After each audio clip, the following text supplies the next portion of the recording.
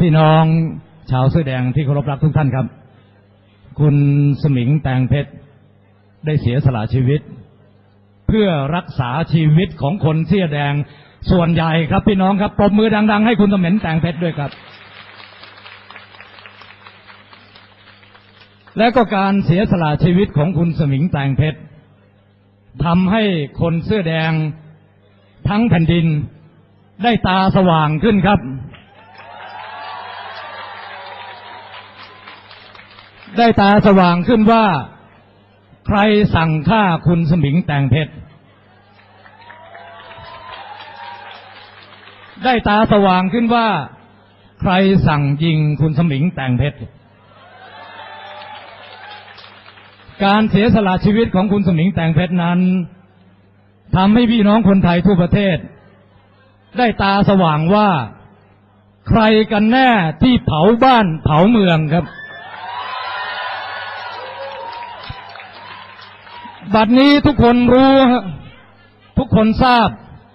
ว่าแท้ที่จริงคนที่เผาบ้านเผาเมือง ก็คือคนกลุ่มเดียวกันกับที่ฆ่าประชาชนคนเสื้อแดงครับ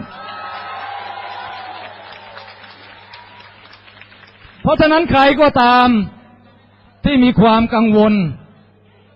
และบอกว่าเสียใจที่คนไทยด้วยกันเผาบ้านเผาเมือง ก็จะได้ตาสว่างนะครับว่า แท้ที่จริงคนที่เผาบ้านเผาเมือง ก็คือคนที่อยู่ในราชการทหารครับ ผมต้องขอขอบคุณท่านประธานนปชท่านอาจารย์ธิดา ถาวรเศษ คุณจตุพรพรมพันธ์ คุณนัทวุฒิสายเกลือบรรดาพี่น้องคนเสื้อแดงทุกท่านที่ได้มาร่วม แสดงความไว้อาลัยให้กับคุณสมิงแตงเพชร โดยปกติแล้วคุณสมิงแตงเพชรมักจะร่วมไปในรถขบวนเดียวกับคุณเจ๋งดอกจิก เพราะว่าในฐานะที่เป็นคนเสื้อแดงจังหวัดนนทบุรีด้วยกัน ต้องขอขอบคุณท่านอดีตรัฐมนตรีอุดมเดชรัตนเสถียรท่านสสนิทัศน์ศรีนนท์ครับ ที่ได้กรุณาเป็นธุระจัดแจงเรื่องงานพิธีการได้เป็นอย่างดี พี่น้องครับ คนเสื้อแดงทั่วประเทศเนี่ย ไม่ว่าจะเป็นผู้ชาย ไม่ว่าจะเป็นผู้หญิงเราหัวใจดวงเดียวกันครับ คนเสื้อแดงทั่วประเทศเป็นเสมือนญาติครับ คุณสมิงและวีรชนที่เสียสละชีวิตไป 91ศพ เป็นเหมือนพี่เหมือนน้องกับพวกเราทุกคน เพราะฉะนั้นผมขอบอกกับญาติพี่น้องของคุณสมิงแตงเพชรณที่นี้เลยนะครับว่าเราขอขอบคุณที่ท่านสมิงได้เสียสละชีวิต